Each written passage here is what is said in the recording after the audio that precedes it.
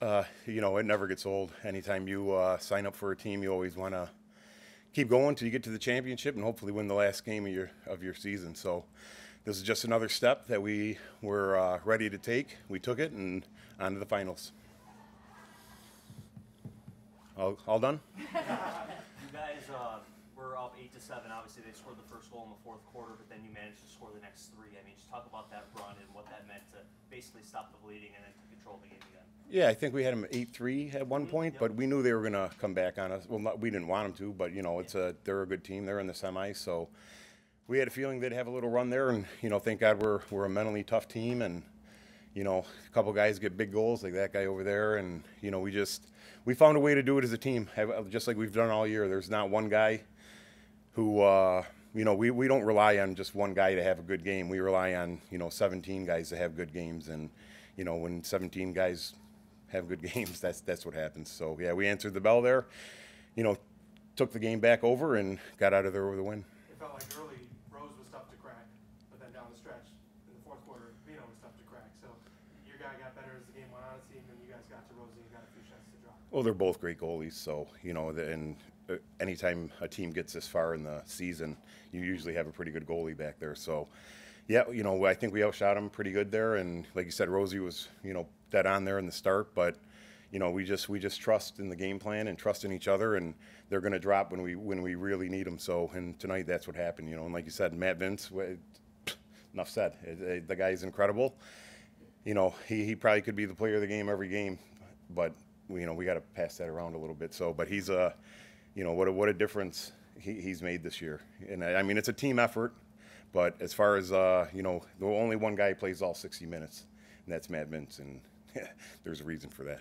Talk a little bit about that difference, obviously missing the playoffs the past two years, now you guys come in heading to the championship. What was kind of the formula for success, success so far?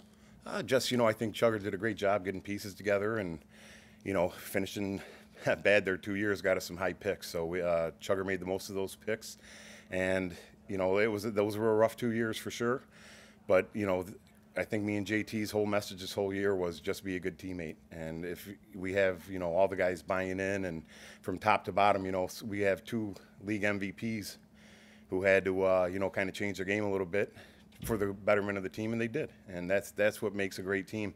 Our rookies came in, you know, Matt Spanger, a couple other guys we pick up, you know, uh, off kind of the, the trash heap, and but they fit right in. They were great players in our system, so. It's uh, it's really kind of unbelievable to go from two years, you know, missing the playoffs to now we're in the finals. Kind of still a little bit surreal. If I told you before the game that Toronto's power play was going to play as well as it did, you might be a little nervous. But you guys played so well five on five, you were able to overcome the power play. goal. Yeah, I think what they have seven or eight, and I think four were power plays. So obviously, and you know, Adam Jones is a great shooter, and we had it. Uh, we'll have to do a better job of if someone gets hot, finding them and you know, taking them out of the game. But five on five, I think our D was just dead on. Our O was good five on five, and you know, I I think the power plays were eight or nine to two, at which I'm not sure they played that clean or we played that dirty, but. Seemed like uh, they got too many and we didn't get enough. Eh, I'm a I'm a bias though, you know. Last one here. How about the reaction of the D end of the bench when Bryce Sweeting scored that goal and, and what he's been able to do fighting his way back in the lineup? Yeah, and that's what you know. It's really tough on coaches. You know, JT has to make it. We both have to sit one guy every game, and Sweets was kind of on the short end of that there for a couple games. Then OC gets hit in the face in the warm-ups, and he gets back in there and he makes the most of it. You know, and then tonight he, like you said, he gets a big goal early. There at the end, we were, uh, had the extra uh, pulling their goalie. He just hopped in there like a goalie and soaked one. Right, I think it looked like he hit him right in the chest, and he, you know, he didn't even flinch. And that's the type of players we love. He, uh, what's best for the team. If I got to take a ball right to the chest, then that's what I'm going to do. If I have to go down and score, that's what I'm going to do. If I have to sit a game or two, uh, that's what I'm going to do. And these guys have been great all year of just being good teammates. And uh, I, I can't say enough about the players. tell them all the time, coaches talk, players walk. And they, you know they've been walking pretty. Dewey Cox, they've been walking hard.